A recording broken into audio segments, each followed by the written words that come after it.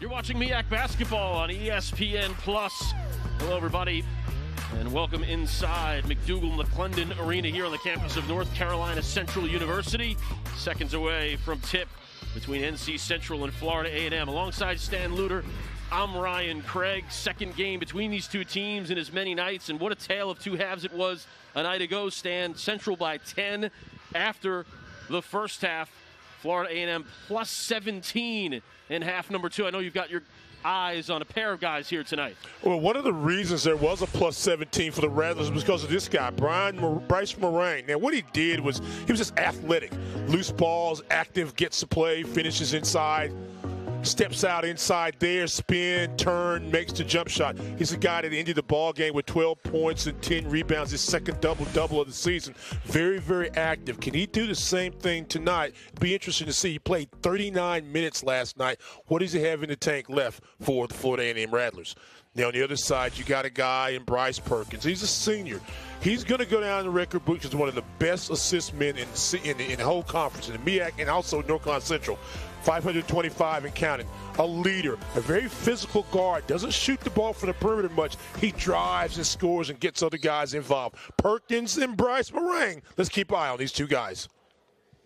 Just about to tip it off here. DJ Jones against Justin Watley. Same lineups for both teams.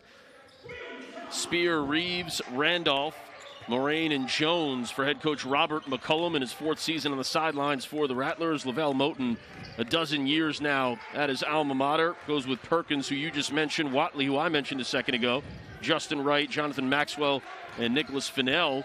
It was Fennell with the hot start a night ago, a 5 0 run for him personally, as the Eagles really came out on fire, put a bunch of pressure on Florida A&M, caused a whole lot of turnovers and as usual with, with the North Carolina Central Eagles, they come out in man to man and again, very aggressive that first five or six minutes of the game last night. Got off to the big lead, just not able to sustain it in the second half. And we'll just see what adjustments they're going to make. They're going to give you the weave. They're going to give you the motion. They're going to look for drives and cuts. And again, Florida A&M and, and Central have played three times this year. Florida A&M's won all three.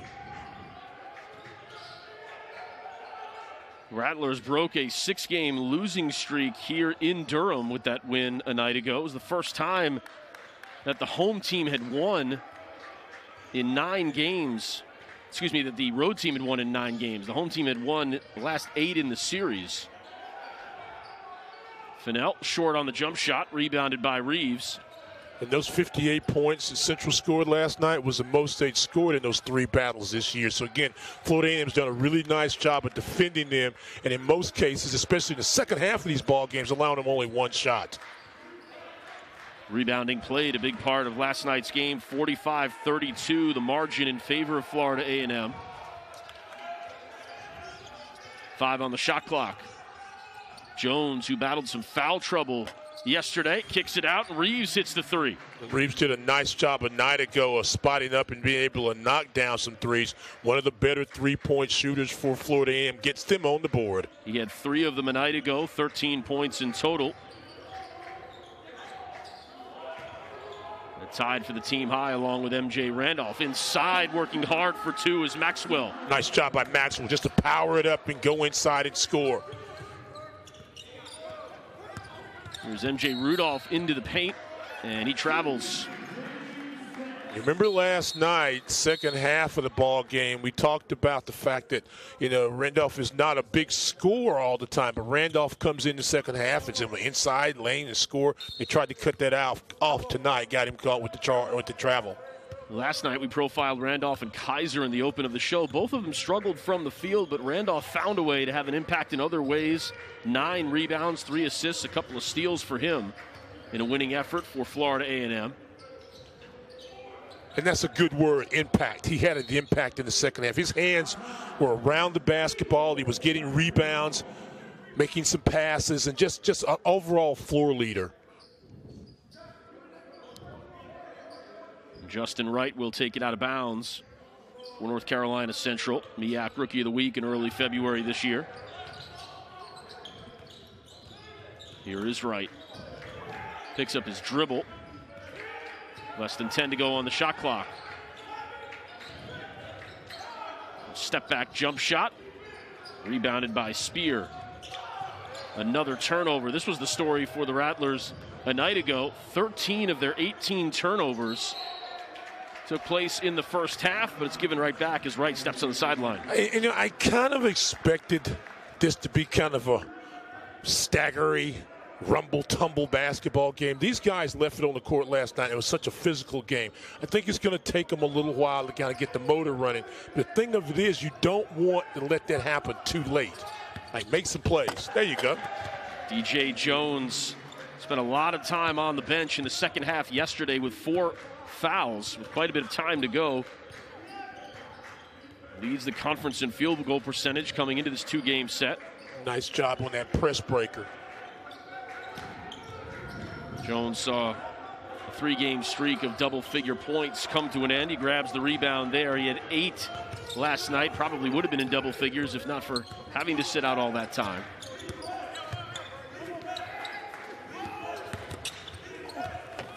High off the glass. Nice finish there for Speer. Much better spot tonight for the Rattlers than last night. And a guy that we really didn't talk a lot about having an impact on the game is the freshman, Mr. Jalen Speer. Among freshmen, second leading scorer in the conference.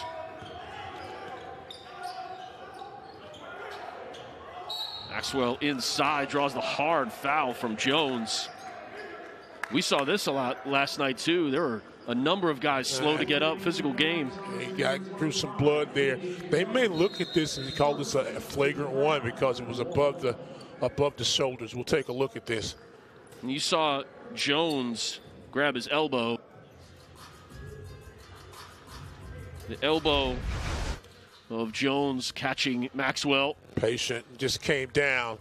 I mean, I, it was a basket. As crazy as this may sound, it was a basketball play. Yep. But they may look at that because of where the contact occurs. Yep, I agree, I agree with you. For now, we'll take a short break. Florida A&M is 7-2 lead here in Durham. You next.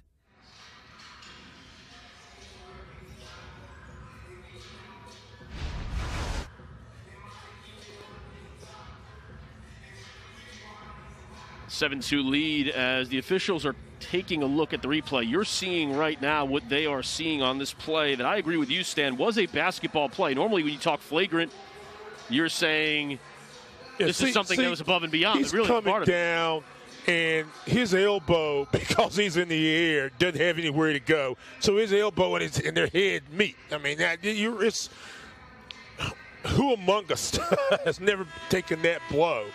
Nice head and shoulder fake, gets the defender off his feet, and then he just comes down. So the referee rules it. They did. Exactly what you're talking about, Stan. And that is that it's a basketball play. In fact, those were the exact words of the official. So a 7 2 lead, and Kaiser will come on and shoot free throws as Maxwell had to be tended to off the court. Don't know if that's going to require stitches or not, but for now, Kaiser comes on off the bench just like he did last night. Transfer from Wichita State, preseason All MEAC first team.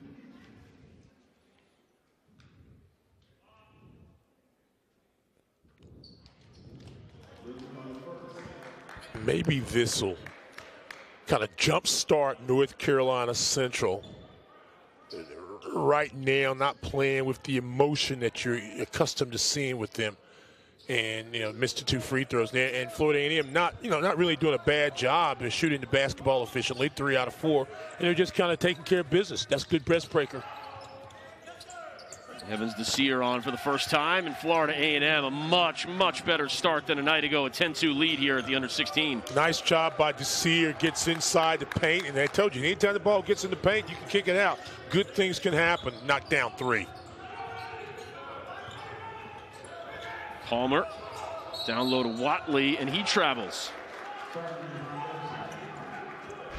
Take a look right now. Ball press breaker goes inside. Desir doesn't force it. Three white shirts around the basketball. It's really hard for Kaiser to come in and try to close out, and he's just too much room for him to cover. Clark buries a three.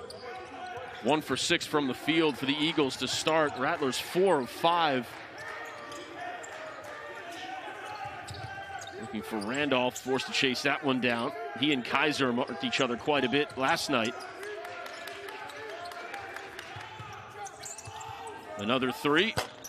Another make. You know, most of the time when the clock is winding down under five or six, you say drive it, try to create something. They're very, very patient tonight, very confident, moving the ball. Remember when we talked last night about how much ball movement you were seeing out of them in the second half, and you get a shot with the clock down. We talked about last night being a tale of two halves. How about a tale of two games? What a turnaround for Florida A&M from less than 24 hours ago. As Palmer hits the jumper.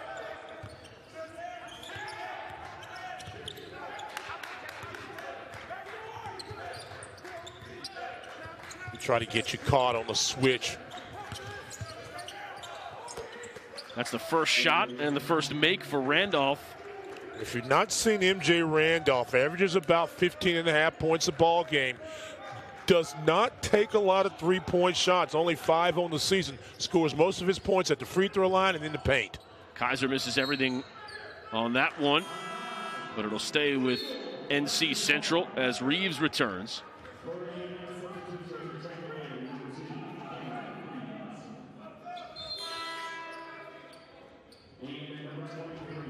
Kaiser 0 for 1 from the field. Scored 11 points last night, but needed 16 shots to do it.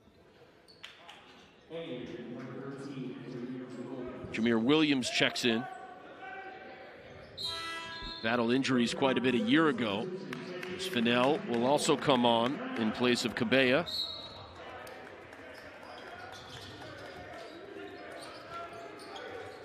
Kaiser nearly didn't reestablish himself in bounds. Melvin to an open shooter. It's Palmer for three, off the mark. And the cold shooting continues for NC Central. 0 of 3 from three point line. Remember, we talked about that's a steal. Palmer misses on the dunk. Oh! Well, it's been that kind of night for the Eagles thus far. Back the other way. It's turned over by Randolph. You know, you, you ask him to get in the passing lane, you look for an explosion play, and, you know, there are times when you'd fault the guy for missing the dunk, you know, but you, he's just trying to make a play and just rims out. Sometimes it happens. Never happened to me because I never never got high enough. Might have happened to you at some point. Sometimes, sometimes it happens. Staggered screen up high. Here we go. Sometimes it happens. but you understand. Absolutely. I've seen it happen from below. Fennell lines up the three. That one's good. First one of the night for NC Central. Nice job that time of reversing the ball and reversing again and finding Fennell open, the lefty from the wing.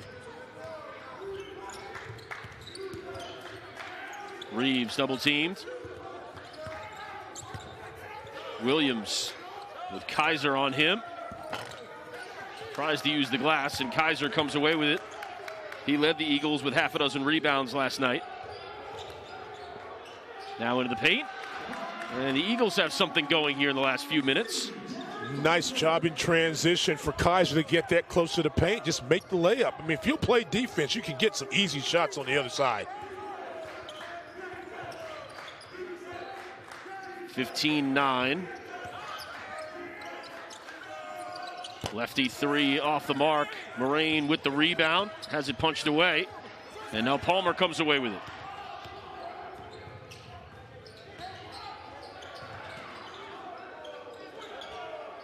Extra pass from Kaiser. Good job by Florida A&M to get back in transition D.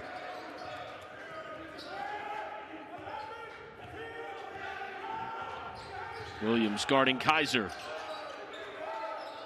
Five on the shot clock. Fennell tries the three from the wing, and Moragne comes away with the rebound. That was an absolutely fantastic defensive set.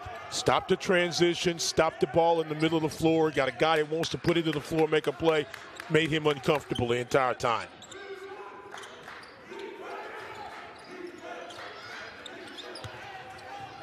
Clark off the mark. 15 9. Rattlers have the lead. It's a 5 0 run for NC Central here on their home floor. Looking for win number five of the season and number one against Florida A&M. Until next time. Whew. The lead is six for the Rattlers, but a 5 0 run for NC Central as they try to bust out of this shooting slump. They were 5 of 27 from three last night, Stan, just one of five here tonight. That three ball is not falling for LeVelle Moton's and, team. And the same thing about it was they had some really good looks. I mean, it's not like every shot was a last second, let me throw it up and hope it hope beg for something. They were getting good looks. Shots were not falling attribute some of that to Florida A&M's defense, but you know they just got to keep firing them up. And I think when they fall, they're going to fall a lot. And right now, for your Central, you just got to continue to play smart basketball and show zone after the timeout. Reeves misses on the three. Melvin quickly the other way. Funny thing about Central shooting threes, they're best in the conference by by percentage. There you go. Ty Graves Transfer from St. Louis hits that one. And Lo- back to a three-point game. Local guy out of Greensboro. Haven't really seeing a lot of him as of late. Playing on the home floor for the last time. He, along with, there's another turnover. He, along with Perkins, you know that they want to come out and play well. It was a good look for him. Despite the lead, that's half a dozen turnovers now for Florida A&M as we take another look at the three from Graves. And you see Graves in rhythm knocking down his 6-3 of the season. Again, he's a guy that kind of comes in and steadies the ship. They don't ask him to score the basketball a lot, but be a very solid ball handler, a good defender, and, and kind of lead this team. He's one of those staggered swings from way away, and they'll start all the action. You've got to be able to defend both sides of the floor. Offensive foul is called. Looked like it was Cabella that may have gotten whistled for the illegal screen. See, Ryan, this is the thing that, that kind of hurts your shooting too is that you lose your rhythm. You're trying to run a play, boom, there's a foul. You try to run a play and you have a turnover, and you can't really get everything in sync. And Central has really struggled sometime at not being able to score or value the ball at, at opportune time. Oh. Wide open underneath was Desir and the foul. Everybody kind of held their breath right then. Desir got low. Big guy, 300 plus pounds, goes inside and finishes, gets the possible three point play, but took up a lot of space. And some way, somehow, on the defensive side, they lost track of the big fella. Two quick fouls on Cabella as Desir heads to the line, where he is 17 of 24 on the season coming into tonight. I like him. He, he, he's a physical guy, obviously. He's got a nice touch, really good footwork. Second time he came up short shooting. Last night, remember, he had a little yeah, 12 foot jumper and he shot at 11 feet. Cabella stays on with the two fouls. Here he is with the ball now. Kaiser, plenty of time for that three. As Desir cleans the glass. Often running with Speer, pull up jump shot in the paint. Cabella Looks like he may have injured his ankle or knee on the play. Didn't even cross half court. The finish by Melvin. Well, he's been wearing a knee brace all season, and I think that's that right knee. Florida A&M's not recognized. Now they now the officials have stopped the game.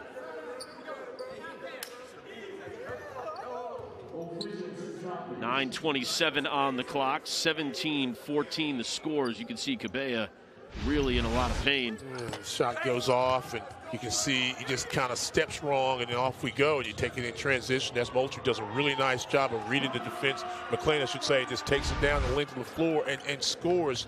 But Nick, see, you get the basket. See, there's a rhythm. You get the basket. You stop them. You miss a play. Then you have the injury, and it just kind of throws you off just a little bit. That doesn't look good. No, it does not. It's Cabella having trouble putting any weight on that leg. In comes Cameron Bowles to replace him.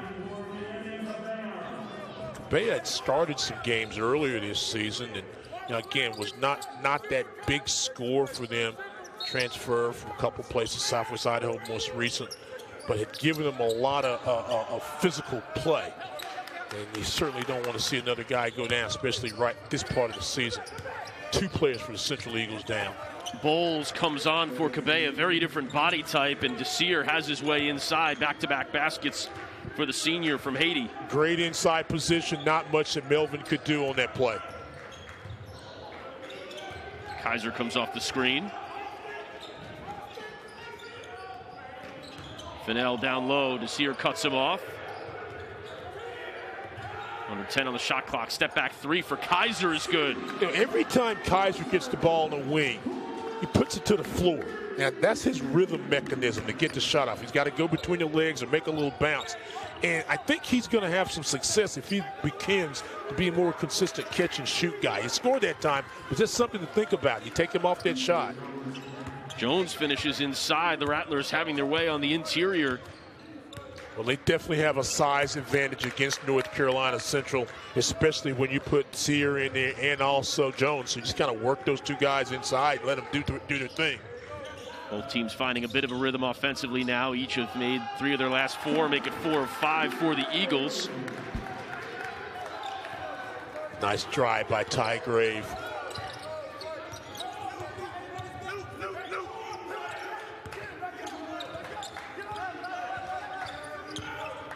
Randolph.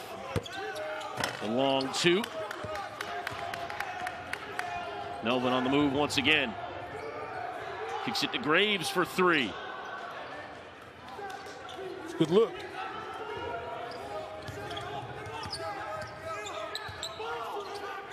Looking for Desir inside. NC Central just has no answer for him right now. And he'll shoot another couple free throws when we come back. 7.37 on the clock. Rattlers by two, looking to extend the lead here on ESPN Plus.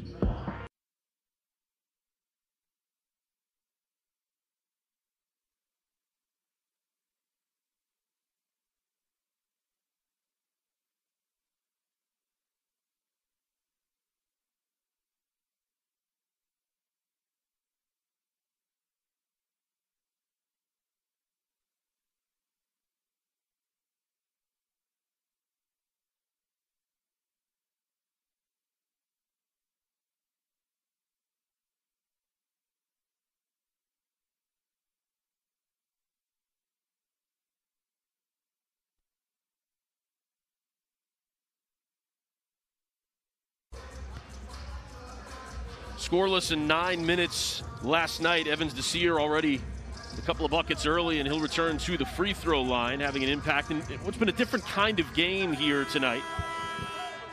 Well, he's been active tonight too in, in the block, and it's more of a half-court game so far.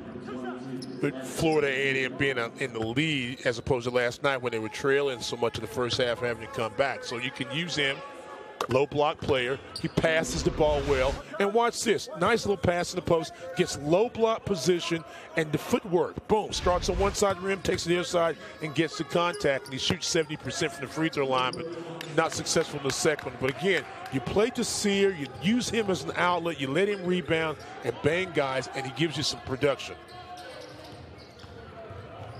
One possession game. Under seven and a half to go in the first half. Kaiser draws the foul on Reeves. Only the second team foul on Florida A&M. NC Central with four.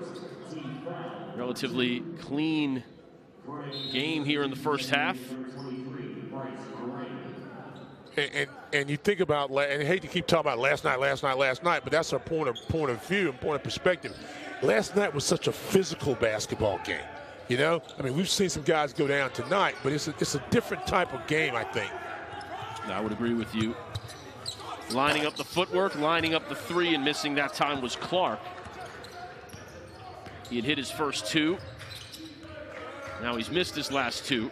Stopping on a dime, Melvin, fall away jumper.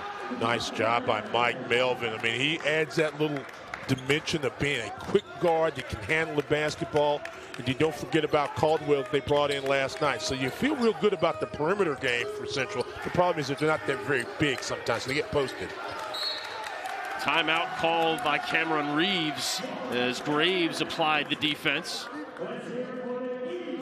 We'll take a quick break here at McDougald McLendon Arena. The home team trails by one here on ESPN Plus. Of entertainment, Paramount Plus be so good. Returning to the floor, Jonathan Maxwell, no longer 23, 32 instead, so he got patched up off the court after taking the elbow unintentionally from DJ Jones, looked at by the officials, ruled a basketball play, and so just a common foul. Good to see him back there on the floor. And then grabbing the rebound. A foul is called, though. You, you wonder also with Florida A&M, uh, is there a little fatigue? And, and, I'm sure it's going to be for both teams. It's obvious you're playing back to backs as hard as they play. But you've noticed a lot of their shots are falling just a little short. Everything's hitting front rim. Everything's hitting front rim, and, and, that that's usually a sign that you're not able to get your shot. You know, get your shot off getting in your legs. The minutes distribution for these two teams that's very better. different a night ago. Although Clark looking strong here this evening, already his third three. NC Central didn't have anybody played more than 29 minutes last night. Speer, Moragne, and Randolph all played more than 29. Reeves went 29 on the dot as Kaiser finishes. And they've got Florida A&M three guys, the guys that you just mentioned, Randolph, Speer, and Moragne, that average over 32 minutes of ball games. So they play a lot of minutes, a lot of heavy minutes, and you know that's that can be good or it can be bad sometimes. Eh, you know. It's a nice look for Randolph. Jones will shoot free throws. You mentioned the open 39 minutes for Moragne. Randolph barely came off the floor either. He played 38. Yeah. Well, pick and roll action. Here's the play a moment ago. The back cut. Again, both of these teams do a really nice job of, of starting their offense you know, 18, 20 feet away from the basket a lot of times, and then just running cutters, getting screens, getting you to be ball mesmerized. In other words, you're watching the ball and you're not you're forgetting about where the cutter is, and you get back doors, and, and it frees up jump shooters. And so, if both teams are able to run their offense and make your free throws, you know, it, it, it can pose for a very solid basketball game. Keiser and one. and one. Absolutely. Much more efficient evening for Kaiser, who now has nine on four of seven from the field. Just a nice job getting the ball off the glass and then pushing it down the floor. Melvin doesn't waste any time. You want to see what a high flying eagle looks like? There it is. Mr. Kaiser with the layup and the possible three point play. I like that. Push it down the floor, get you some easy baskets, and that allows you to set your defense. Melvin only has one gear. Boom! he is a blur when he gets his hand on the ball.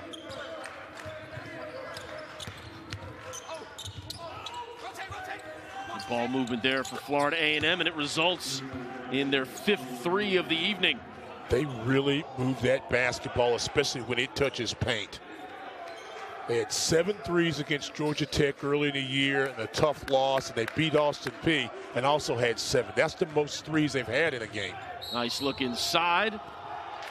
The foul is called before the pass.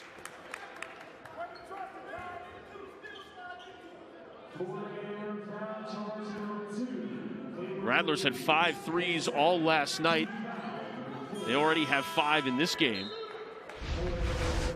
Watch the drive. You go inside, you make the extra pass, you find a guy ready to shoot the ball. Reeves doesn't waste any time, knocks in the three, then gets back on defense. Very well executed by Coach McCullum's Rattlers. Problem for Reeves is that was foul number two, so he has to take a seat. Jones also has a pair. As for the second night in a row, Jones finds himself having to manage foul trouble. See, you got a guy like Jones who's very active as a senior at 6'9", kid transferred from Tulane, so he's a smart player.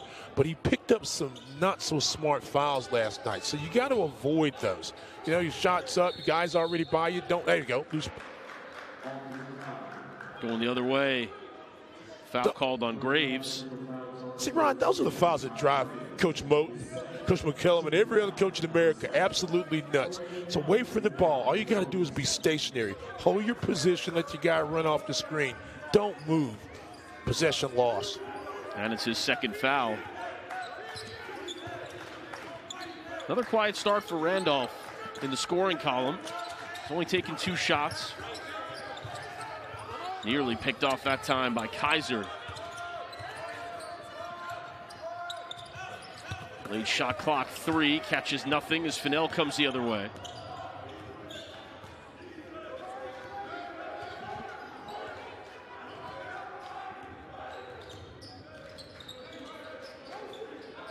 Feed inside to Maxwell. There's a double. Reverse it. Open three. That one doesn't fall. That was the right place to throw the ball, the right person to get the shot. Loose on the dribble there for Randolph.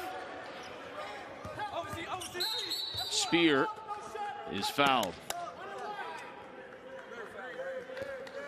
Speer's one of those guys that may, and it's, it's amazing because he's such a, a, young kid, only a freshman. He's had some really good ball games, but doesn't ever look like he's in a hurry to do anything. Just always kind of under control, keeps the same demeanor, makes the play. Whether you know make or miss, he's doing the same thing. Gives you some pressure on the basketball.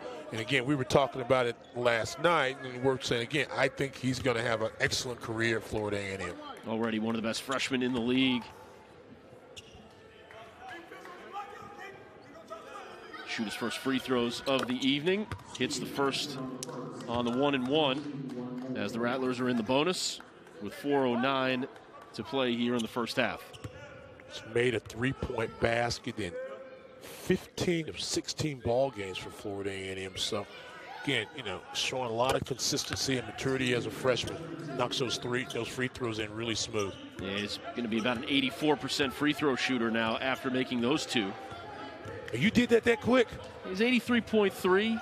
I figure two for two, right? It's got to bump you up at least two tenths. Okay.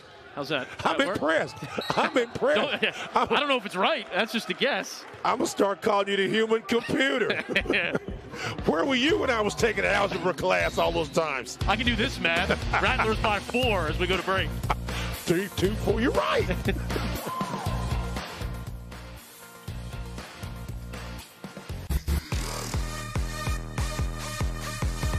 The Epson Eco Tank. Just fill and chill. Available at CJ Keyser, the senior from Baltimore, making things smooth. Step back jumper gets it. Usually in rhythm. Again, what we said, when he catches the ball off the bounce, sometimes things are good. In transition, look ahead. That's nice. That's a high soaring eagle for a basket. Keyser gets his game going, the team seems to start to build some momentum. Again, leading scorer in the Mid-Eastern Athletic Conference, off to a nice start in this ball game with 10 points. Free throw attempt for Jameer Williams upcoming. 46%. Hits the first. It's a five-point lead for the Rattlers. If he makes this one, what? Are you going to change the percentage, no, right? not going there this time. That uh, the first one was a layup because it was 83.3. Lay violation. That, we're getting into all kinds of statistics here. I set myself up for failure. Now you're going to want it every time. No, no, no, because you know, like I told you, you know, you know, had some problems sometimes in algebra class. So one I'm not two. Gonna, that's fifty percent. There you go. I we got you that. Yeah, and the first one didn't. The second one didn't count. I, yeah. we, we, we together. we together. Some things I can still do. If you're central now, be efficient on offense, and fams just got to continue. Say, I was about to say, don't reach. Speer called for the foul. Just the sixth team foul for Florida A&M, though. See, imagine this is going to be baseline out of bounds, and it is. No shots on that. Of course, the Eagles wanted two free throws. Officials have other ideas. it's a good veteran crew tonight.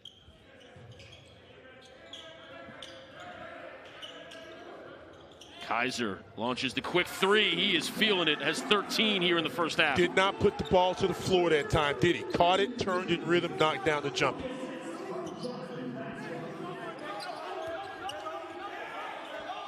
Keyser doing it every which way. A couple of threes. Central back in that zone again. Looking for the reverse that time was Johnny Brown. Instead, the Eagles a chance to tie or take the lead.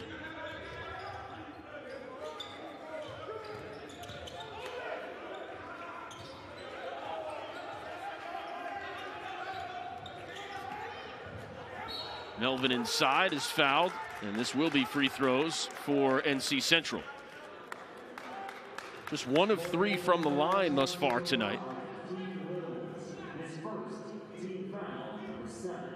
We were talking about it a little bit last night. Worth noting, I think, for both teams, but Central has only been to the free throw line in games more than their opponent three times this year, one and two when they've done that. So, you know, getting to the free throw line, getting some of those easy points. Very, I think, I think as you get closer and closer to the playoffs, into the playoffs, and tournament time, and then even though getting to the free throw line more than your opponent, making those easy points can really help you win some basketball games. It can anytime, but I think especially this time of the year because you're playing a lot more half-court basketball. Not only did Florida A&M shoot more than NC Central last night, 19 to 18, they also made them at a much better clip, 16 for 19 yesterday evening for Coach McCullum's squad. Not necessarily the case today, though, just four for nine. Yeah, not getting there. Again, not taking the contact. Had a little point blank shot there. Just the float game just a little bit off. Ticking down toward two and a half to play here in the first. The lead is one. Keyser, man on a mission here tonight, goes the fall away jumper over several defenders. And Desir clears the glass.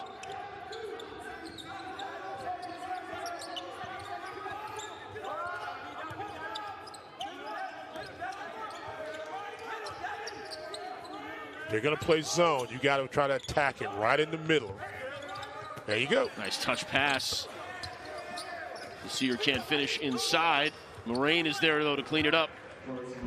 Haven't called his name a lot tonight, but very active that time. Again, they made the, the ball win in the middle of the floor pretty much. You get to the wing.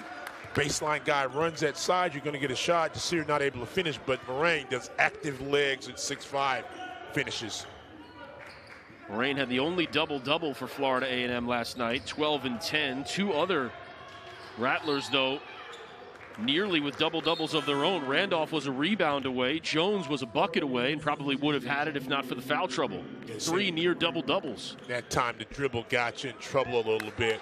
You know, you, have got you got Maxwell. He's dribbling. He's dribbling away from the baseline, so they kind of sneak a little double in there, and he tried to play away from it. He had to travel. But you're right. I, I really was impressed with the way Moragne had the active legs. Made those mid-range jump shots, as you said, his third double-double of the season. And and again, it's just about sometimes with rebounds, it's about want to. Good steal. Poked away by Keyser. Melvin in fourth gear as usual.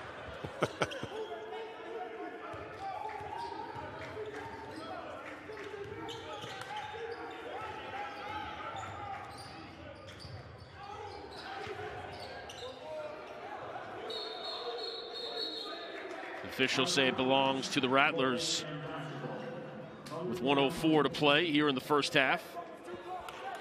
Seventh turnover. I mean, six turnover by Central, seven for Florida A&M. A little better for Florida A&M than what you had last night, but still, I think both coaches would say, you know, the teams, the defenders, have not earned those turnovers. We've thrown the ball away too many times. We've been a little careless with it. Trajan Davis steps on. Possession there goes the way of Central, so let's see if they'll play two for one here. Foul is called. It'll be on Davis. So we'll walk down the other end of the floor. And got underneath the rebounder. Coach McCullum looking for an explanation.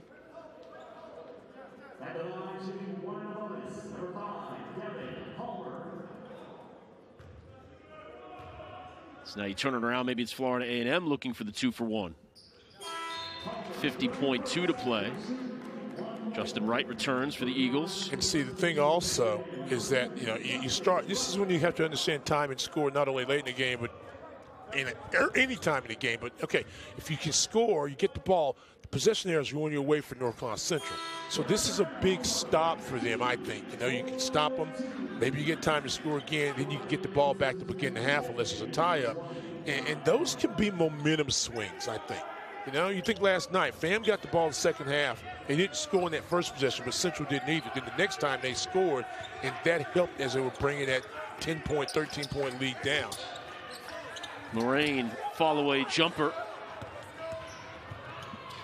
Melvin tears down the floor, and he'll shoot free throws. Not quite sure why Desir wanted to reach out and, and, and stop the foul that time. It was almost as though he didn't realize maybe they were in the bonus. Yeah, you know, that's yeah. almost a reaction, right? An instinct is maybe to stop the play there with a foul, but not when you're going to give up free throws. Ninth team foul, so a one and one scenario. You know that that was a real run in the Coyote. You, know, you know, he he was reaching as hard as he could to try to get him. Let him go, especially that, especially you know, 25, 30 feet away from the basket. So I think I think Desir is too valuable for this Rattler team because he's a good rebounder, as we've shown earlier. He does a nice job with footwork, and, and he's got really nice hands also. Eagles lead by one and a half. They have trailed for the most part. Randolph, about a two second differential between shot and game clock. Let's see if the Rattlers play for one.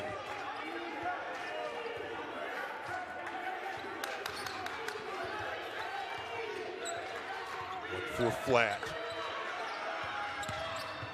Randolph challenging three different defenders. Time for a final shot for the Eagles. Five seconds to play. Palmer, fall away, baseline jump shot off the rim. It's Maxwell.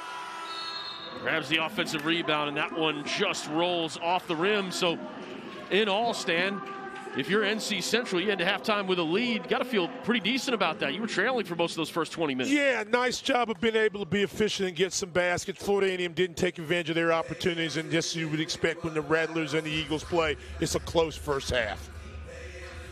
NC Central looking for its first win of the season against the Rattlers. Plenty more to come from McDougald McLendon Arena here in Durham on ESPN Plus. It's outrageous how this flavor got me. Limitless possibilities. The boldly new 2021 Nissan Kicks.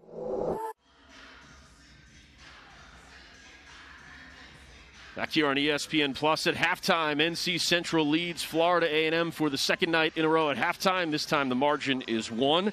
This year exclusively right here on ESPN Plus, the undefeated presents Why Not Us? North Carolina Central Basketball. Executive produced by NBA All-Star Chris Paul, Stephen A. Smith, and Roadside Entertainment. Let's take a look now at an excerpt from episode three. So you come right here. When you go to a club, who you with all the time? That boy, girl, I know you in there. You, you, I know you ain't missing the club. Yeah. Okay. And and Devin and Justin, y'all get back here. Y'all ready for this one? All right. So as you drive, we'll have some cops walk up on the scene, and you guys got to respond accordingly. Got it? This is our role play. Let's go. I know you don't, don't don't even hit me with the 11 and 3 or 9 and 3 because you you leaning back, go and recline your seat, and let's go. All right? You ready? Go. Hey. I feel like any black person, whenever, whenever you get pulled over, it's just always that, that just feeling. It's just like, damn, anything can happen from here.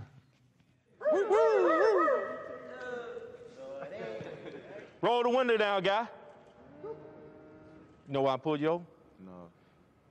You don't know why I pulled you over? Get your damn license and registration. Well, get your Where you headed? Where you guys Put your hands on your head. License. On your head. License. Spread your leg. License. Need you guys to step What you out. got on? Step You out got the vehicle. on you? Right here. Step out of the vehicle, young man. Get Step out. Get out. Let's go. On your knees. On your knee. On your knees. On your knees. Hands behind your head. What's in the car? Hands behind your head. Interlock your fingers. Interlock your fingers. Young man, step out. Step out. You see what happened to your buddy right here. Step out. Lay down. Lay down. Where's your ID? As a black man, I have to raise my child with the harsh reality that he's still a black man. And whenever he's 16 years old, and I have to teach him how to drive a car, Watch your mouth. Where's your ID? I have to teach him how to parallel park. I have to teach him how to keep two hands on the wheel. I have to teach him how to three point turn. But I also have to teach him how to respond when a cop pulls him over. White kids don't have to do that. I don't want y'all being in that position. And I don't want y'all thinking this cannot happen to me. And we're doing this because this happened to your coach. I feel like that hit home for everybody that was in there. When growing up, your parents tell you, your, your siblings tell you, whenever they, they come, just sit quiet, don't make no sudden movements. Always talk your action, what you about to do. I'm about to reach in my pocket, I'm about to give you this, this, and this, and hope for the best, basically. The first thing you did, you was reaching. What happens on that? You get shot. There you go. When they It's cool to be black at a black college, but we don't live in a black world.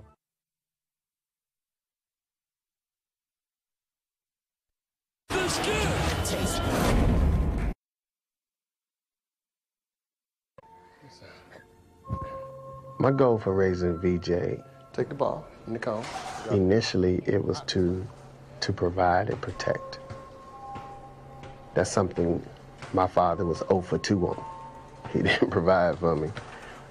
He didn't protect me. He left me out there. You go out here. Start with uh, the warm up in between. Walk walk up to here. Ready? Walk up to here. Okay. Keep it tight. Heels on the grass. Chest what? Up. All right, let's go. Go. My father left when I was four. Chest up. When your father walk out that house and you're a four-year-old kid, that does something to you. Triple. Want to go triple? At an early age in life, I always ask God, please don't let anything happen to my mom. Because if anything happened to her, my brother and I was going to have to go into the system. You got to hit him with some stuff. Let's go. Good. Good, good. I like it. Head up. Head up. Good. Set him up on the cross. The blessing of those two kids of mine, Brooke and, and VJ Vell Jr., it's, it's changed my life. Go through, through the legs and behind the back. All right, go. I always do the best that I can because I don't want them feeling the way I felt about my father. Like that's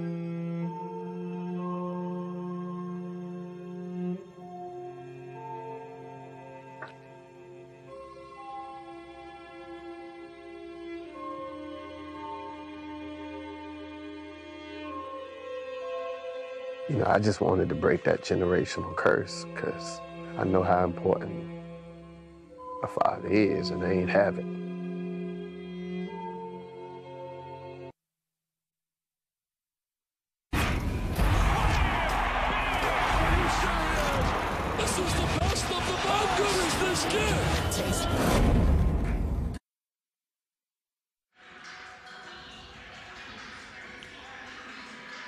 The second half, just moments away here on ESPN Plus for the second night in a row. The Rattlers try to come back from a halftime deficit, looking for the season sweep, and strong contributions from Jai Clark and Evans Desir in the first half. Those two combined for 14 points and four rebounds. Desir, especially, who didn't score a night ago, doing a bit of everything. There he dishes for the three.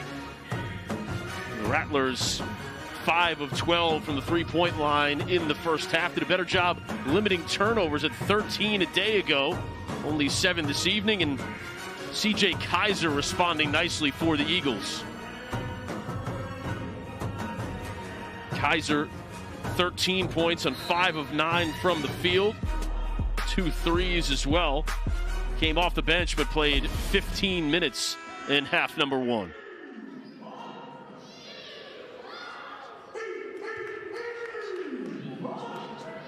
There you see the game summary to this point. Better shooting effort for the Eagles from long distance after a 5 of 27 performance less than 24 hours ago.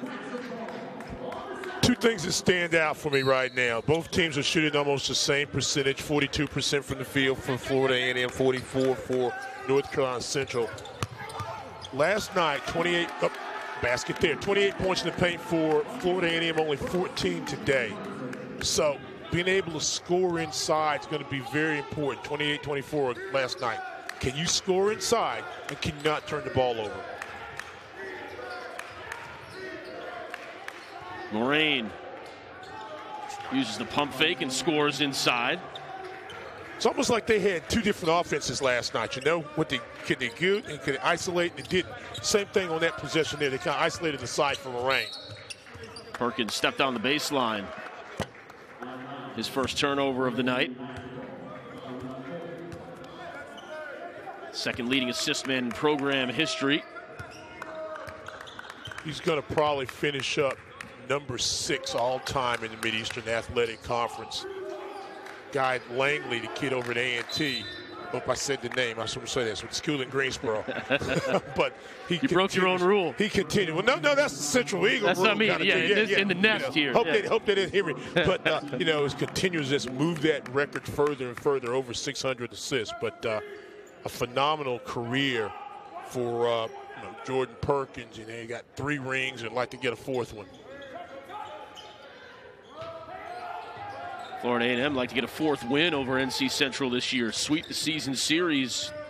Obviously, this modified schedule here, the COVID-19 season, as Reaves hits another three, sixth three for the Rattlers this evening. And unless they play each other in the tournament, this will be the last meeting for a long time of these two schools.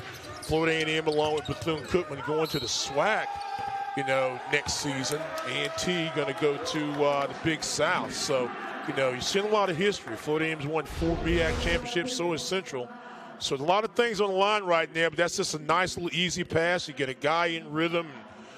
Reaves continues to get good looks, and when he's getting those looks, he's comfortable. He's able to knock those down.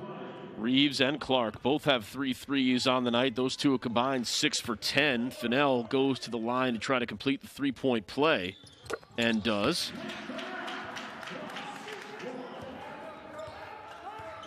Eighty-four percent free throw shooter is Fennell.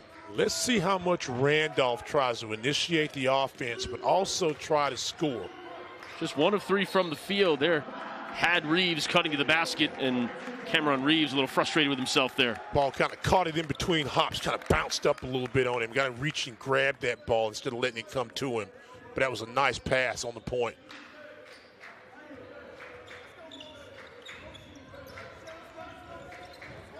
Reaves playing with two fouls. Token pressure on Perkins. Keyser, who had that strong first half, into the paint once again, draws the foul. That could be the third on Reaves. And it will be.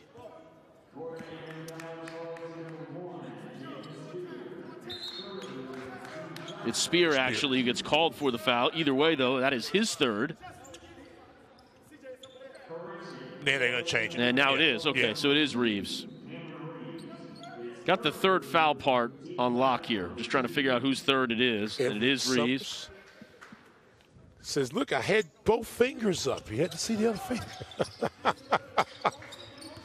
this is a very solid crew tonight.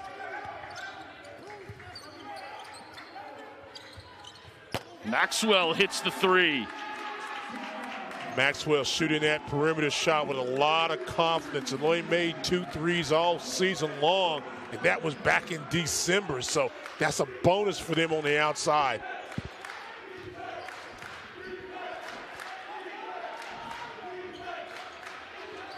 Nearly tipped away by Watley. Under 10 on the shot clock. Randolph kicks it out. Speer is fouled. Is it going to be on the three point attempt? Keyser administers the foul. His third. Just step out. Those post guys, those three, four guys for North Carolina Central have the ability to make that shot. And that was a very, very confident, just step away from the basket. And Maxwell doesn't hesitate and buries a three. And again, if he's able to make that shot, that makes the offense even more fluid because that, that opens up the middle. Fennell gets called for the foul. So Reaves with three and Keyser with three fouls apiece. Two important players for each of these teams. Reaves is still on the floor playing with those three fouls. Keyser has taken a seat.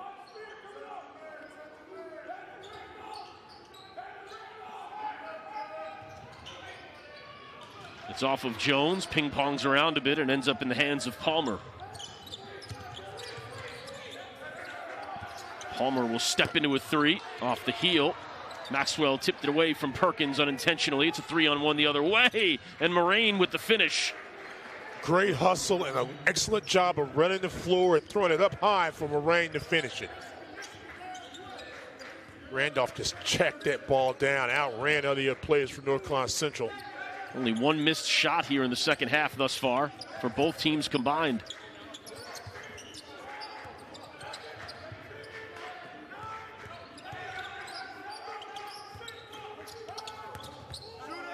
Fennell with time. The hot shooting continues. Nicholas Fennell. He's got a pair of threes and nine points on the night. This looks a little bit more like the NC Central conference leading three point shooting team here this evening. Well, one, they're getting some nice shots. They're getting some nice looks, and they've had these looks and they didn't fall in the first half. Secondly, you've got to do a better job defending the shooter if you're Florida A&M. You've got to come out and contest. The basket by Maxwell a moment ago, the basket by Fennell, there was no one within three or four feet, you know, of, of, of the shooter. Really gives social distancing a different name, doesn't it? a rare miss here in the second half. It stays with the Rattlers and a fresh shot clock. And see, these are those plays that are driving the coaching staff absolutely crazy. You know, second chance opportunity you're allowing Florida A&M to have on a team that had a nice shot a moment ago. This is a little 1-4 set. So how do you try to isolate to get the basketball in Randolph's hand or your Speer? Batted right back out of bounds by Palmer.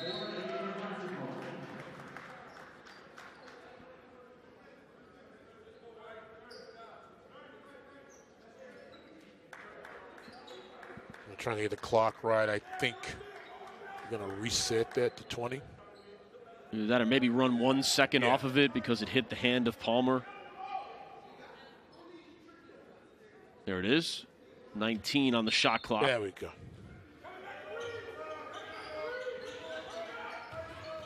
Randolph gets by Perkins and draws the foul on Maxwell. And this is about the time of the game last night that Randolph took over. Exactly. Exactly. Jones picked up his third foul and then picked up the fourth one at about the, well, I think, a 1540 mark. He picked up the fourth foul, and from that point on, it was all Florida A&M. First free throws of the night for Randolph.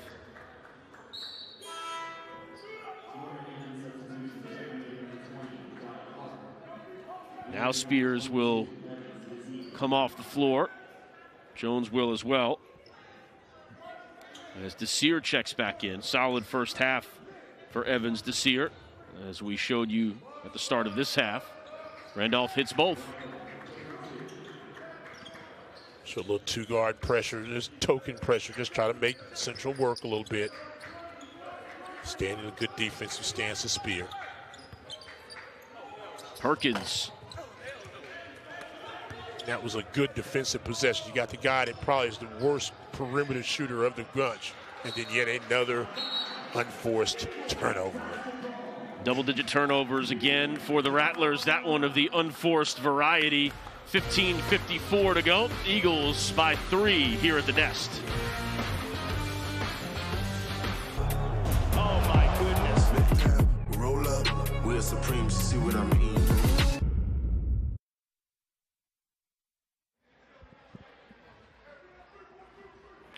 Ryan, I want to just kind of send our thoughts and prayers out to the Eagle family and to Doug Wilkerson's family down in Fayetteville, North Carolina, whatever. Doug Wilkerson was an all pro uh, lineman for the San Diego Chargers, but guy just started North Carolina Central. We lost him last week, and just want to kind of give him a tribute. As you look at some of the names and the legends, some the great legends at North Carolina Central, you know, Sam Jones, obviously. We were talking about Tex Harrison yesterday, who used to be, was a star here, and the CIAA Hall of Fame was the Globetrotters coach for many, many years. And the Amber Congolo played for the Olympic team, and then LeVelle Moton. And I bet you didn't know. Have you ever seen Good Times? I have you not. Good times? You ever seen Good Times? You never no. seen Good Times? No, man. No. You, well, I anyway, gotta expand my pictures, horizons a little bit. The pictures in Good Times, as there's a tip basket right there. Ernie Barnes, who played here, was the was the artist of that. Was a, it was a North Carolina Central alum, and you know Big John Baker, who played for the uh, Pittsburgh Steelers back in day. And not to forget, real quick, I'm giving you lessons. We'll watch. This is good. Look, let me give you a lesson real quick. I right the free throw statistics. You've got the the no, arts give you some history real quick. You know, Bob Hayes went to Florida A&M, and you know Althea Gibson went to Florida A&M, was a star tennis player, U.S. Open, first African American to win the U.S. Open and also Wimbledon. Pam Oliver, you know Pam Oliver, Andre Dawson, Nate Newson, Nate Newton. I mean the history lesson. But here's the thing that's real cool. This is cool, cool, cool. You can win a bar bet with this. Did you know that Florida A&M and North Carolina Central both had mayors of Atlanta that attended their school. Keisha Lance Bottoms went to Florida A&M, and Maynard Jackson went to North Carolina Central. You just never know the stuff that I'm going to tell I'm, you I'm about. coming out of this broadcast a smarter person than I when I got into I it. want I'm you to. just leave it at that. Cannonball Adderley, jazz musician, went to Florida A&M. Herman Boone, remember the Titans? That's right. North Carolina Central. If you walk through the concourse of McLendon McDougald Arena, you just see it's a great sport history lesson. It's a great social lesson. You should do that. But I just wanted to give these people some love and some tribute. There's a whole lot more. I know, I know, I forgot, but only so much I can talk about because the game's going on. No, great stuff, Stan. Nate Newton, by the way, Chad Lampman, our fine producer this evening, a Cowboys fan, maybe the best offensive line in NFL history. Those early 90s Cowboys. Yeah, Philadelphia 76ers, Clem Johnson, Meadowlark Lemon, speaking of the Harlem Globetrotters, had attended Florida A&M University, the Rattlers, Ken Riley, the legend. I mean, there's a lot of history in this place, man.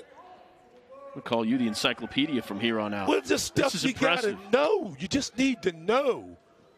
Robert Massey with the New Orleans Saints for many years, All Pro. Kim Coles went to Central. I'm sure I'm forgetting. Oh yeah, oh yeah. Let me tell you the last one. You like baseball? I do. Andre Dawson. Yep, yep. Let me get back to basketball. 'cause I can talk about this of stuff all night long. This is Eagles- history. Eagles by seven here with under 15 to play. Some of these people the reason we're in here playing today. So I gotta always give them some props. What did we miss? I'm trying to look at the box score right now. So what happened the last couple minutes? Yeah. Been mesmerized by the history lesson. In the meantime, the Eagles draw the foul. And never forget about Coach McLendon. Of all things, never forget about Coach McLendon.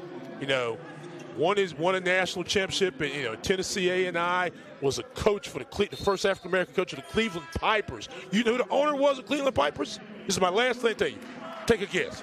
I have no idea. Mr. Mr. Math Man, George Steinbrenner. Okay. In the old ABL. Mr. Math Man. in the old ABL. George Coach, Steinbrenner, Coach I think McLendon. he bought the Yankees for Later somewhere. Yeah, yes, of course, but he- got a pretty good deal on it. I think he bought him for in the tens of millions, and it's worth five billion at this point. Something like it's kind of like a Well, he- one of your financial moves. There's no question about it. And Central making some good moves on the perimeter, knocking down shots. It's a double-digit lead. Not for long though, as Speer lays it in. But the Eagles have slowly extended here. Made three of their last four shots. The lead is eight. As Melvin walks it across half court. And now, if you're Florida A&M, you've got to you've had the history lesson, so you know of all the legends before you, and so now you've got to pull in that Rattler spirit and play some solid defense. The Eagles are going to continue to fly high and move the ball. Baseline jump shot misses, crashing the offensive glass, but fouling in the process was Palmer. Talk about that Rattler defense. Program known for its defense under coach Robert McCullum. 13 19 to play. Oh, I forgot one more. I got to do this one. The legendary Chicago Bear running back Willie Galimore attended Florida A&M. Chicago Bears had some pretty good running backs in their time. Yeah, but you know, forget the story. There you go. anyway, so you, you you have to remember those things. If you don't, if you don't talk about your legends, you're never gonna know. There's a lot of great history both of these schools. But anyway, back to back to new legends and new history. FAMU making some history, or trying to, with the season sweep of North Carolina Central University. Getting a road win in this series alone is a bit of history. They did that already last night. Here comes Melvin the other way. Looking for Bowles with the strong finish. Bowles does it on both ends of the floor. Gets the block on one end, hustles down the floor, and gets the finish.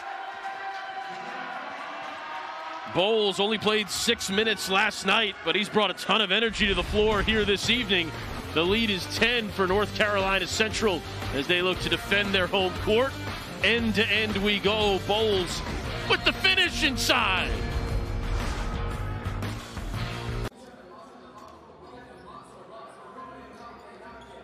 Fifty-four points already for NC Central here tonight. They had 58 the entire game yesterday. 20 of 61 from the field an evening ago. Same number of field goals made, only 39 shots necessary, though, here tonight, Stan. Making a few more shots inside as well as around the perimeter. 7 to 15 from three line gives you a grand total of 51% on the night. So, again, if you shoot like that for NCCU and you're forcing turnovers, you know, you have a good chance of winning this basketball game. That's the formula for North Carolina Central. High percentages, turn the team over. Another mishandle, that time by Reaves, who had the open layup. And the play was there. It's a 12th turnover tonight for FAMU, and it's just a matter of just, you know, execute it. Just catch the basketball first. Seen a few of those type turnovers where the ball just slips through the hands of one of the Florida A&M players. Well, the easiest way to get the layup is to catch the ball first. Palmer off balance. Jones comes away with it. And if you're Florida A&M, this is a time where you've got to start becoming more efficient offensively. Be the sixth team foul there on the Eagles, so one away from the bonus here for the Rattlers. As we go to break here with 11:55 to go, second game of a back-to-back between North Carolina Central and Florida A&M. But if you get home and your ooh is more of a hmm, you have 100 days to change your mind. That's the VisionWorks difference. VisionWorks, see the difference. Jonathan Maxwell picked up his third foul. He and Keyser each have three. Reaves, the only Rattler with three. As teams break the huddle, Florida A&M trying to make up a 10-point deficit. They did it at halftime last night, but just 11:55 to play now. Last night, you know, they had 17 second chance points, out rebounded Central by 13, and tonight, not quite the same result. Central's out rebounded them by three, and the second chance points are about the same. The look inside to Jones, the two-handed flush. Boy, I like him. He can get off the floor. So active. Those long arms. Finish around the rim. Jones getting to see much more of the floor this second half than he did an evening ago when he had four fouls early. Trying to get out and guard that three. Palmer misses. Let's see if that play by Jones can ignite Florida A&M offensively. Jones able to keep that possession alive. Randolph avoids the charge and hits the floater. Wow, did you see how he just stopped and just elevated? Perfect jump stop, except off two feet. He was off one foot, but I like the play. Lead is down to half a dozen.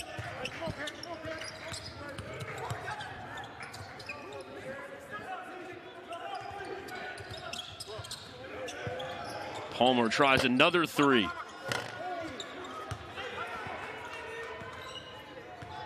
Momentum play right now.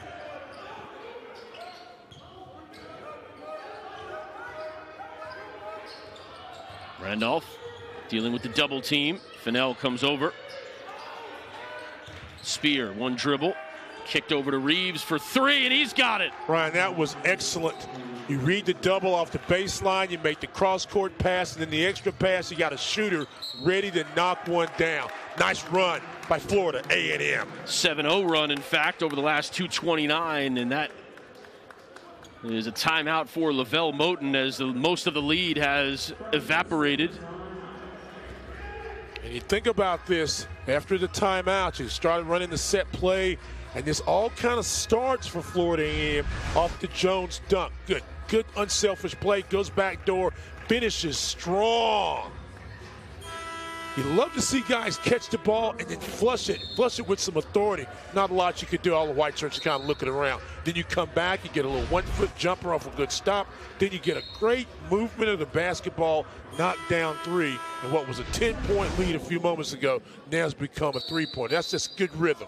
And see the defender's just about two steps too late, that being Bowles. Remember, Bowles had the block and the dunk a few moments ago, not able to get there in time to make the play this time. Eagles perhaps falling a bit too much in love with the three as well. They've missed their last couple during this run. Start to wonder now, how long will Keyser stay on the sideline with those three fouls? He's actually out there on the floor with the ball right now. There's the answer to your question, Stan. Very good. That'll do it. You ask and you shall receive. It'll stay with NC Central. Yeah, I think Coach Moton had seen enough of his team without 22 out there. Again, you, you, don't want to settle for jump shots. You talked about it last night about speeding up shooters and whatnot and everything. And that's the situation there where your team comes down and scores, and you're trying to get a hurry and you're making one pass as opposed to making a second or a third pass and getting a better shot. You take a good shot and it doesn't fall, and boom, they go rebound, they score, and you know, 10 goes to three. Jones, a tough guy to inbound against. Saw him deflect away that first pass. This is a spot throw in. That one deflected out, so it'll be a third time for the Eagles trying to just inbound the ball here with 10 minutes on the dot remaining in this game and a three point lead. Need to know if you're central. Seven seconds on the clock, so once you get it in, what are you going to do? Melvin with two on the clock has to throw that one up. Offensive rebound by Maxwell. And a late shot clock possession. The Eagles get the offensive rebound and perhaps a three point play. You must secure the basketball. You've got to grab it, be strong. And Maxwell, who took a blow to the head early today, says, Listen, I've shown some blood. I'm going to give you some more. Goes inside, strong, gets contact, finishes, lets out a Yale. Now for the three point play to change the momentum for the Eagles. You're Florida A&M. You get the stop you need. Maybe go down, chance to tie. Instead, you give up the offensive rebound and a three-point play, and now that doubles the lead.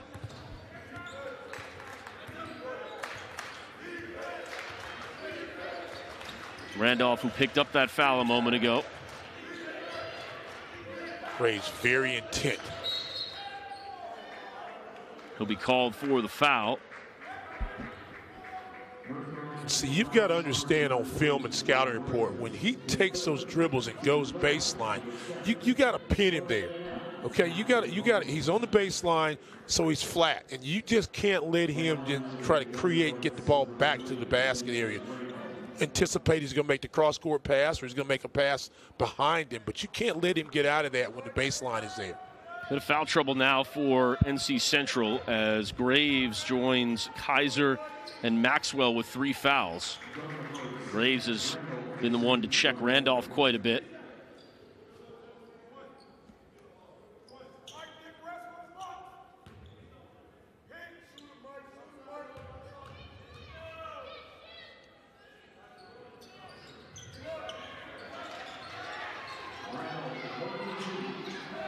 First free throw that Randolph has missed tonight. He's three of four. There's a 10 second violation. Wow. You can go a lot of ball games and not see a 10 second. We've seen them in two consecutive nights. That's right. That's exactly right. I mean, you know, need I say it, but this is that time where you just got to know time and score. keep a running clock in your head on all possessions. Jones facilitating from the post. He's not going to shoot there. He'll shoot there, though. Randolph, we'll call that a pass. Possession stays alive for Florida A&M. Five seconds on the shot clock. That one bricks off the backboard for Reaves. Diving on the floor was Moragne. Wasn't sure that ball drew iron. Yeah, I was wondering why the shot clock reset. And but, I think that's the question that Fennell is asking right now. Coach Moton certainly is also. I saw a replay last night where they took some time to understand whether it was a shot clock violation. We may get something similar here as two of the officials discuss things. that ball went across the rim. So they're thinking that it caught the backside. The other one we had last night was kind of on the other side of the globe. So we'll take a look at this and just just to trying to see. Clock wind down. All right. And that didn't hit anything. At first glance, it did not seem like it hit the rim. The referees will take a look. 8.57 on the clock. Ball Five hits. point lead for the Eagles. Watch, watch, see there. Oh, yeah, that's the underpin. That's an easy one. But the thing is now is how much time was remaining before they change the shot clock. You know what I'm saying? Yep, You know saying? absolutely. Yeah, because we know it's not going to be 20 on the clock. I, I want to say that that ball hit the backboard with about six on the clock. We'll, we'll probably be able to see it here. And then there was a scramble for the basketball.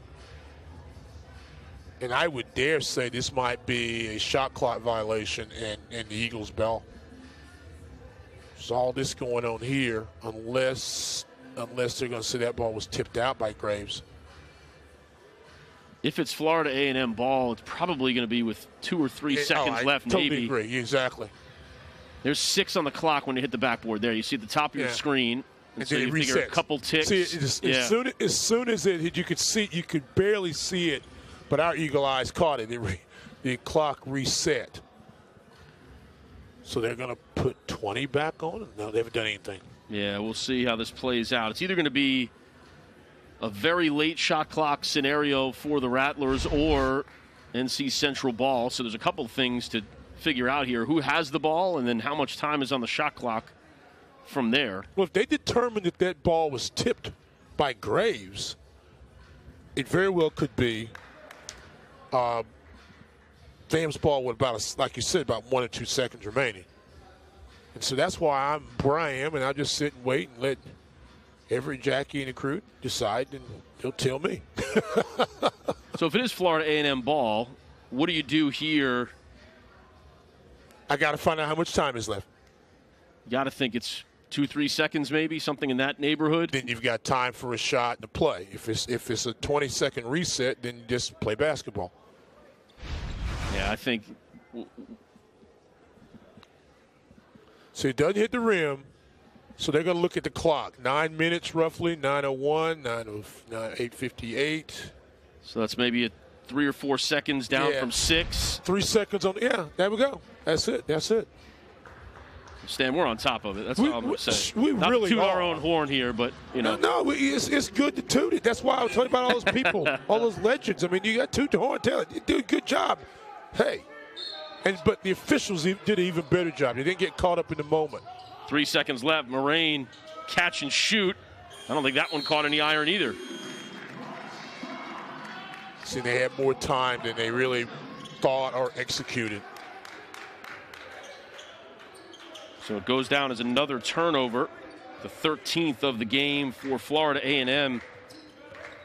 They're getting close to that total of 18 they had yesterday. Still able to win that game, but you want to walk that tightrope too often. Don't think they can win this game if they have 18 turnovers tonight. Melvin. Keyser, long three. The Eagles have gone a bit cold from three point land here in the last few minutes. Randolph hits the jumper. You spoke about that. You remember they went cold last night about this time of the game. And this is also about the time that Randolph kind of took over. He's up to nine ways. now. He's got nine points, five rebounds, four assists as Randolph. Another miss. Maxwell, another offensive rebound. Second time he's done that here in the last few minutes. Great job by Jonathan Maxwell at 6'6. Just goes up strong, uses the left hand and the glass, and gets the basket. Started his career at Iona, played a couple other places also, but has come to North Carolina Central and has really given him some brute strength inside the paint. Eagles one for their last five from three, but Maxwell has turned two of those misses into layups. Now he defends Jones, baby hook, off the mark.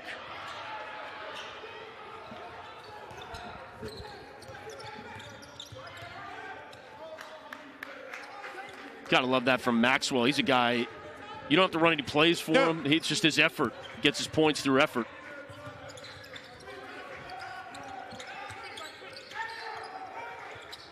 Looking for position on the post, guarded by Randolph there. Now he has the ball. Five seconds on the shot clock. And he scores again. Great job defending him, but the problem was he was left-handed, so you let him turn to the middle on his left side. That's an easy basket, understanding the clock. A dozen on five of seven from the field for Maxwell, who missed quite a bit of time in this game after getting patched up. Caught an elbow unintentionally from DJ Jones early in this game. Randolph, he's starting to find the rhythm now. Kind of open up sides and let him work. Both teams continue to shoot well here in the second half, both over the 50% mark.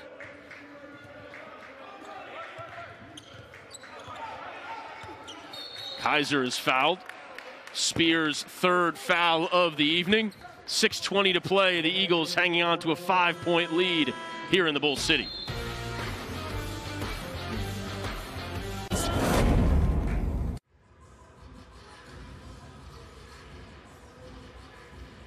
Jon- Jonathan Maxwell, you talk about perseverance. Goes in early in the ball game, gets popped upside the head, leaves a little blood on the floor. He comes back in the second half, and man, has he been a man possessed. Loose ball, late possession goes up, scores there. Watch this, jump shot goes up. Big guy just active, want to, making plays. You know, five out of seven shooting the ball. The senior from Virginia Beach. Watch this, working to the left side of the floor, going to the middle. Yeah, we got you, big fella. Very, very impressive second half. Very, very impressive basketball game for the 6'6 senior. 12 points on 5 of 7 shooting, and all impressive four rebounds. And all of those rebounds on the offensive end of the floor, he's turned at least three of them into layups. Had to bust out the blood jersey, 32 now instead of 23 for Maxwell. And those are those second chance points that we were talking about early in the ball game that Florida A&M got so many of last night. Offensive? Yeah, they got Fennell 61-56. It's the eighth team foul for the Eagles. Rattlers for the second half in a row have avoided putting NC Central in the bonus.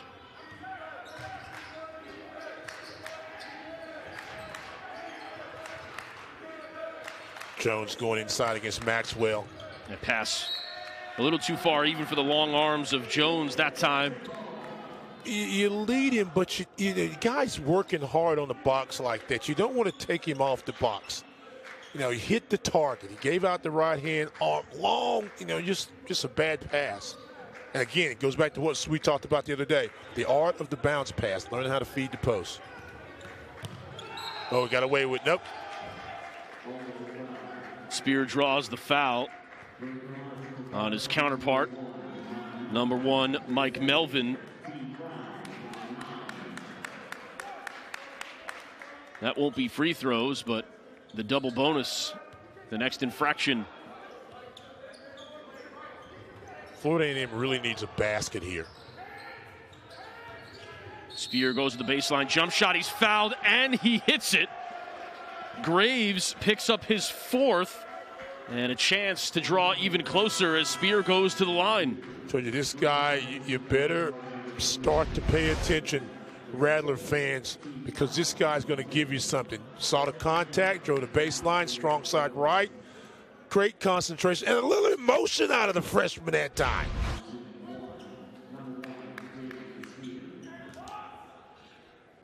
Speer two for two from the line tonight.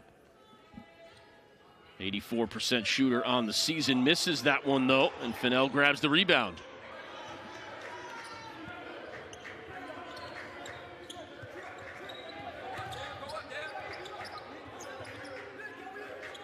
Speer and Melvin going man against man right there. One versus one. They switch.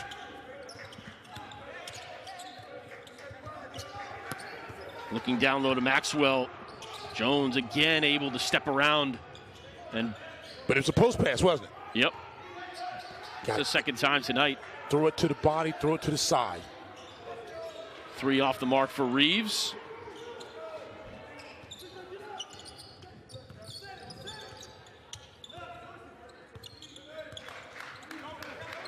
Like Bryce came up limping a little bit.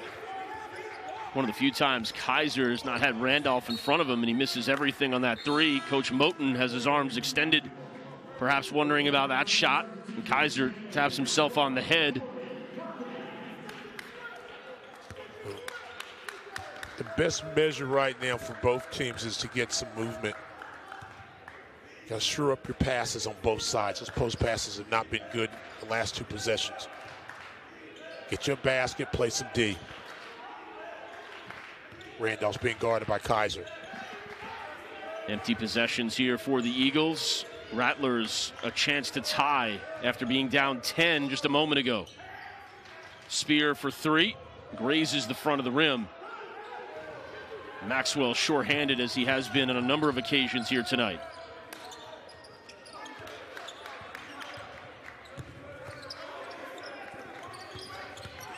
Keyser down low to Maxwell. Been so good underneath the basket tonight. Nice catch, great recognition by Keyser, and then using the left side of the rim to protect the shot blocker for a left-handed player, going to his strong side. A game high 14 now for Maxwell. It's his season high, I think, also. Moragne with the finish over Palmer, who had to lean out of the way. He had 13 early in the year, get down at Coastal Carolina. 14's this season, his best. Saving your best for last. Tournament's right around the corner. Next career week. high, season high, career high for Maxwell. Yeah. Fennell kept his feet on the ground, gets to the basket and finishes. Oh my goodness.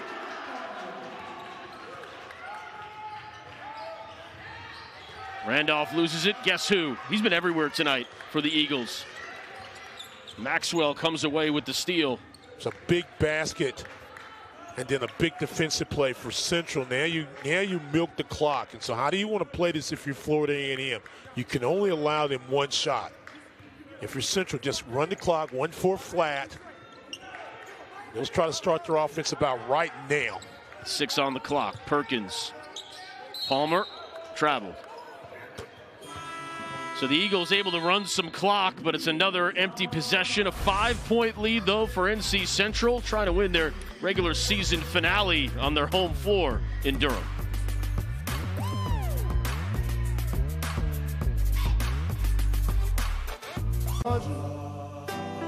They're an enduring symbol.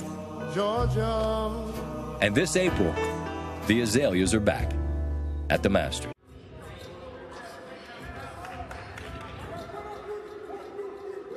Fourteen points, five rebounds, an assist, a block. Jonathan Maxwell is having himself a game. There you see the career high, and they've come at opportune times too, usually off of missed baskets. A lot of times that would mean the end of the possession, but not with Maxwell in the house tonight. Just hanging around the rim, you know, and then, and then when you get a chance, be physical and finish out. It's this third double-figure basketball game. And, you know, before I forget about it, as this game gets close, just want to thank everyone, all our medical professionals on both schools, you know, their staff, the coaching staffs, everyone involved with trying not only to get this game off, but to get through this. This has been the craziest season ever. And there's so many people that got this stuff done and, and are helping to play. And just want to just say thank you all. Too many names, but you all know who you are. Special tip of the hat to Commissioner Thomas of the MEAC and his staff for their leadership getting through the pandemic.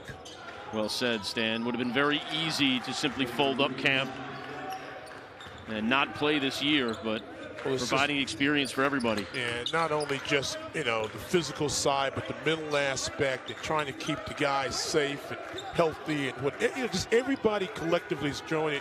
And it didn't matter what school you were from or, or, you know, where you lived. Everybody was working together for health and safety. And so, you know, just want just thank everyone and, and just thank you. Just thank you. Keyser looking inside for Maxwell there, but it's turned over, and suddenly the Rattlers a chance to tie here. That was a post entry too. Just a, one more little topic, you know. Just yep. Shot fakes and ball fakes. Don't wind it down too long if you're Fam. You need to be able to get a shot or a rebound. They're going one on one. Here we go. Randolph against Keyser. That one is poked away by Fennell. Three on two the other way for the Eagles. Palmer will have to earn it at the free throw line. It's a good foul there by Brown. And it's one of those fouls you have to make sure he didn't make the basket. Randolph thought he was going to be able to get past Keyser quickly enough. Keyser did just enough to hold him up, and then the double came. The double came with a steal, and then away you go. And exactly, you talk about a play that maybe changes the momentum and changes the quick of this game. That may have been the play. 56% shooter. Palmer Pure on the first. Both teams two timeouts remaining, minute 13 to go. Rattlers in the double bonus. Next team foul on Florida A&M will be the seventh, so NC Central will shoot the rest of the way. Big, very big. Two possession lead. Central put some pressure on the basketball token. You cannot foul in this situation. Cover the three, make them shoot hard twos. Moragne. Inside to Jones, and Maxwell was there. Not even looking, able to corral the pass for his team. Not sure if that ball went in Jones's hands or Maxwell got a deflection. Either way, it was a hard pass to get in there, but one that I think should have been caught and could have got a finish on. Randolph instead has to foul Perkins. He'll shoot one and one. Perkins a 64% shooter. Eagles shoot just shy of 70% as a team. Free throws will be critical down the stretch here.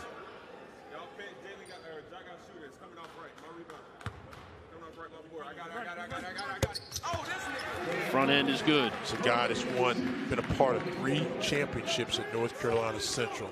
Just kind of fitting that he goes to the free throw line in the final 48 seconds of his time on the court at McLendon McDougald Arena. This one to make it a three possession game. Just off the mark. FAMU has to go quickly here. Reaves. A lot of time on this possession. Yeah, taking a little too much time. Down to 30 seconds to play. Randolph off of one leg, able to hit the two.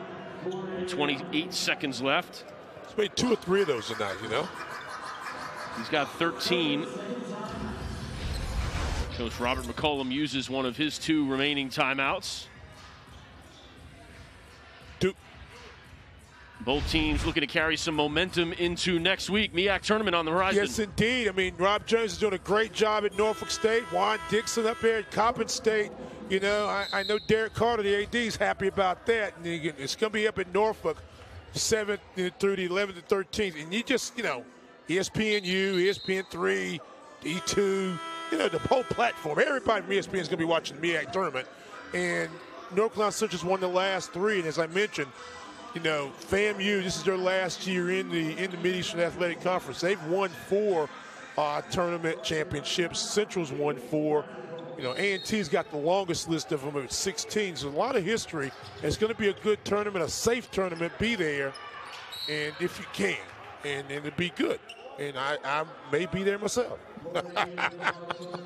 First time that we are seeing Alex Caldwell tonight as he comes on and is fouled, so he'll shoot 1 1. How about that? First time you see the floor within seconds, shooting 1 and 1 at the free throw line. 23.5 remaining. This becomes kind of a math problem. We've talked about math a little bit tonight. If NC Central doesn't turn the ball over and hits their free throws, it's going to be hard for Florida A&M to win this game. That's the formula. Caldwell's good on the first. Three for three now on the season. Remember I told you about the nine minute mark that if, if FAM had 18 turnovers like they had last night, they probably wouldn't win the game. Last check, they had 17. That's exactly right.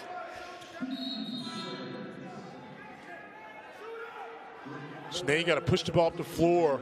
You've got shooters in the game, so you got to get a good look and get a knockdown shot.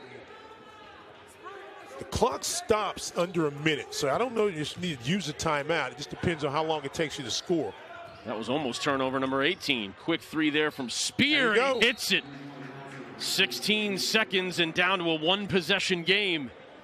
That shot had to go for the Rattlers. As Coach McCullum takes another timeout. Okay, take us through this late game execution now, Stan. That was a big shot by the freshman Speer. Leads his team in three. Little dribble handoff. in rhythm, takes the shot. 16 seconds, a ton of time. A ton of time. If you're a basketball historian, and I know you are, you harken back to the early early 70s, a Carolina Duke game, 16 seconds ago, the Heels were down by eight. Walter Davis throws up a shot at the buzzer. The game goes in overtime, and you know the Heels won without and a three-point line. Without a three-point, and I, you know, I have always from that moment on, remembering that, it's like okay, you know, anything is possible. And that's a great use of timeouts. Well, the situation now is that you're down three, it's a possession, but I don't know how long you can wait if you're Florida A&M for a steal. I think you, you know, you may play defense for about three seconds at best, and, and then you've got to try to foul. Let me see who's on the court in a minute, and, and then you, you go from there and you see what happens. I don't, I don't think you waste a lot of time. If you foul immediately, so be it. The bottom line is that you've got to get the basket and you've got to get a stop here. So who's on the floor for North Carolina Central? Palmer, Maxwell, Caldwell is out there also. Six percent free throw shooter. They had a foul, didn't get it. They do foul him. I don't think that FAMU was trying to foul there, judging by the reaction, but they do get the foul and they send Palmer to the line. You mentioned his percentage a moment ago. Yeah, and they fouled with 12.4, so that's about yeah. May may have gotten the foul committed a little sooner. But, uh, you know, that clock stopped. He didn't waste a lot of time. So now you put the pressure on the shooter. And, and one thing too, and, and LeVelle's going to pull him off the line. I was going to say, if you miss that second one, you back tap. Don't go over anybody's back. Try to keep the possession going. Palmer comes in as a 57% free throw shooter, but he is four for four here on the night. 13 points, nine rebounds for him in 21 minutes.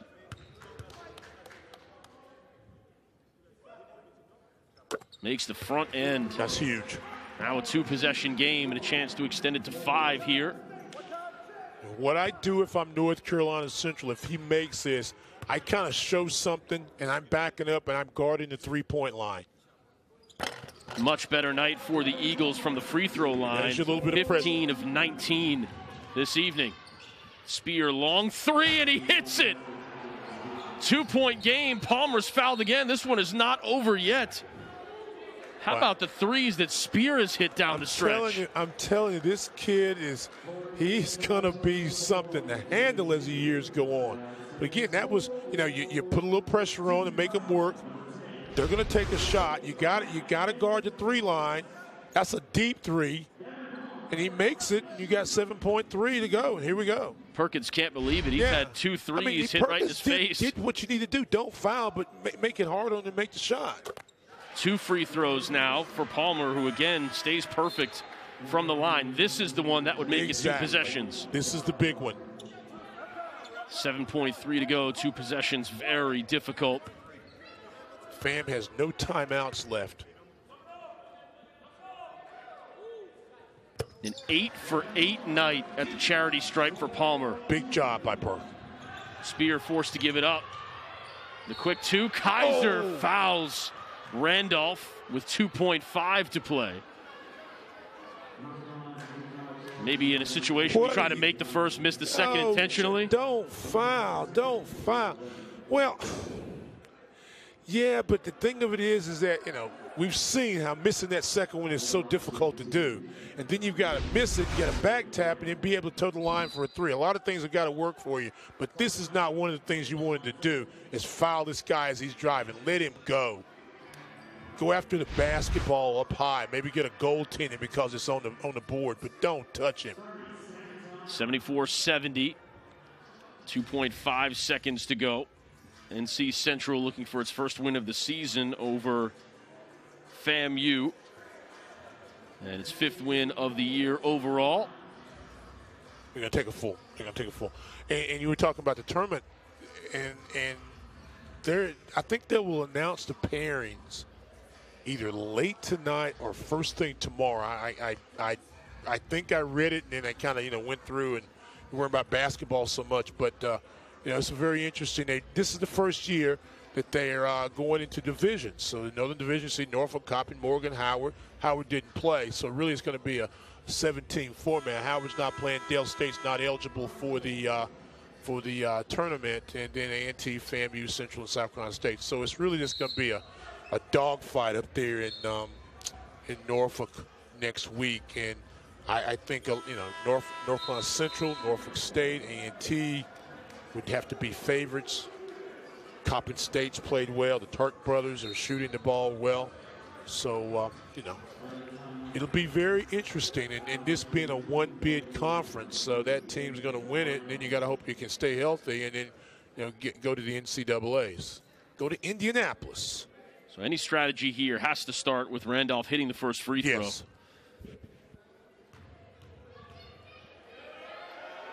Three for four on the night. Step one accomplished. Now, what do you do here, Stan? Man, Not a great position to be in, I, but I, I never because you're down three, so you got to get it. You got to get a pure miss and a pure back tap and a catch and a shot. I make it. I make it just to make it, and I can set my defense up. You don't know where this ball's going. We'll see. looking for the miss. The rebound by Palmer. And NC Central is going to win 74 71. So the Eagles, a trying year. Stan, they wrap things up in the regular season at least with a win at home. Perhaps take some momentum into Norfolk next week. Yeah, snapping that losing streak. They were the team that won the championship most recently, so they'll be excited about that, as will this very good Florida A&M basketball team. And so I'm very impressed. I congratulate the student athletes and everyone for just persevering throughout the season. It's been a long year, but you're almost at the tournament time. Congratulations and good luck. Speer, Reaves, and Randolph with 14 for the Rattlers. Maxwell matches that total. Comes back after sustaining the injury in the first. The Eagles get the three point win.